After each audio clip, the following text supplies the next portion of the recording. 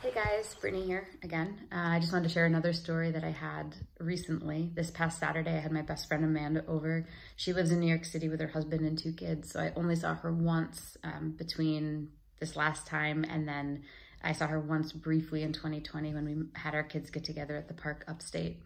So uh, she said during the course of our time together, I was just asking her about her health. She's always had back and knee issues and just things going on.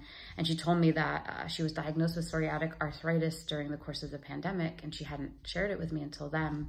And so we just kind of kept going in our conversation and had dinner and the kids were playing. And right before she was getting ready to leave, I just felt like, you know, just take this moment, right? Like you love Amanda. She knows you love her. Like, why wouldn't you just pray for her? So I asked her as she was getting the kids packed up, I said, hey, can I pray for you right now for the arthritis? Because I know that God loves you. I know he loves to heal.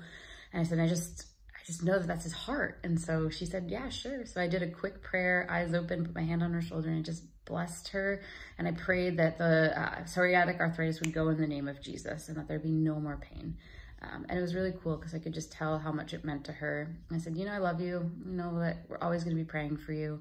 Um, so my plan is to follow up with her uh, the next couple weeks and just keep asking her how she's feeling, especially her knees. Um, but just an encouragement to like take those little moments when they come up and let God do what he loves to do.